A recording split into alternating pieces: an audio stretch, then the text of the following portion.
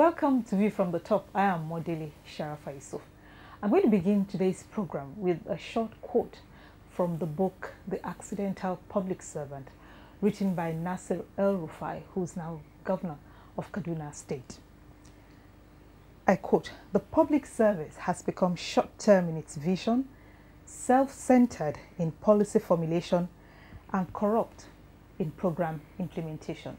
You know, very sadly, inefficiency, nepotism, favoritism, bloated workforce, bureaucratic bottlenecks, and corruption have become synonymous with public service in Nigeria. The civil service is still considered inefficient, and the attempts made by several panels set up by government have had little effect on its reputation. One of Nigeria's most respected civil servants, Chief Philip Asiodu, once said the obvious a government may have good policies, but to deliver on them, the government needs a good and proficient civil service. Chief Philip Asiodu very kindly joins me on View from the Top today, and I wish to thank him sincerely. Thank you very much for joining us. Thank you. Thank you. We'll be discussing how to reinvent the public service for growth and effective service delivery, and we'll also be discussing the state of the nation. And that will be right after this brief biography. Born on 26 February 1934, Chief Philip Asiodu attended King's College, Lagos, before proceeding to the Queen's College, Oxford, where he read philosophy, politics, and economics. Chief Asiodu entered the Nigerian Foreign Service at the age of 23 and rose to be Chancellor, Nigerian Mission to the United Nations in New York at the dawn of Nigeria's independence. He was also Nigerian representative in the Provisional Secretariat of the newly formed Organization of African Unity, OAU. He moved over to the Domestic Civil Service in 1964, where he was appointed Federal Permanent Secretary. In 1983, Chief Asiodu was appointed Special Advisor to President Shehu Shagari and Chairman Cabinet Committee on Economic Affairs, returning to a similar post of Chief Economic Advisor to the President Obasanjo in 1999. In between that, he was Secretary or Minister for Petroleum and Mineral Resources in the Transitional Council of 1992-1993. And between 2001 and 2005, he served as a member of the Honorary Presidential Advisory Council on Investment. Chief Asiodu was a founding member of the People's Democratic Party, PDP. He was a trustee of the party and in 1999 unsuccessfully contested nomination as the party's presidential candidate.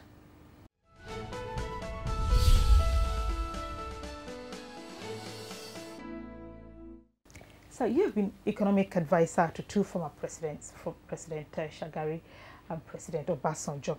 If you were in that position today, what would you be telling President Muhammadu Buhari given the state of the economy? What I would say now, as one tried to say then, is that Nigeria you know, make sustained progress and continuing progress. We must return to accept that we should have long-term plan, prospective perspective plan. We must go back to a national vision accepted by all so that there will be continuity. Because what has troubled Nigeria is a great deal is discontinuity. A group comes, it wants to start anew. It rejects what has been done by the previous. It does not debrief. And if every four years you start a new foundation, when will you reach the roof? So we must go back as a country, subscribe to a vision, have leadership committed to it, and leadership which tries to organize succession committed to it so that we have continuity.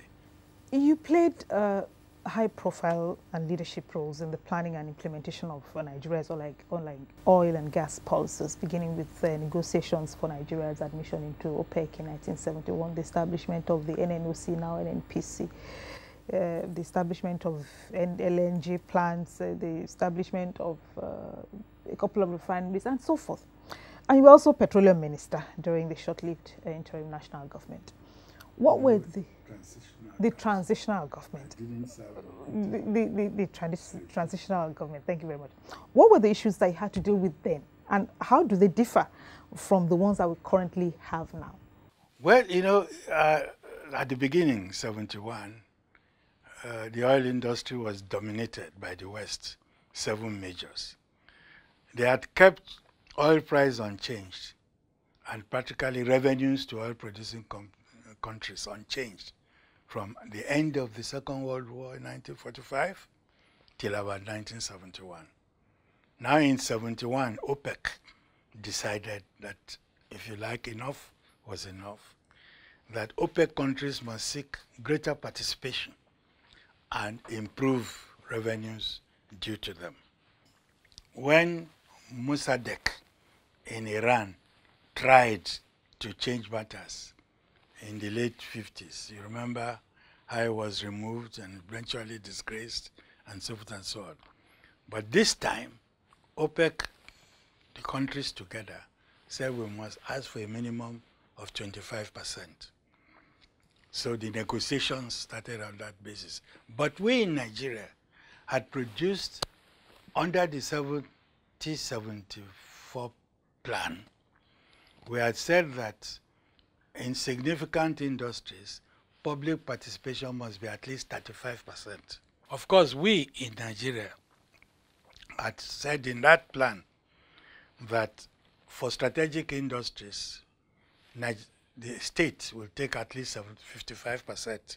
We are not particularly concerned 55 or 60 because really by the time you have 51% control, you have your regulations, you negotiate your fiscal terms properly.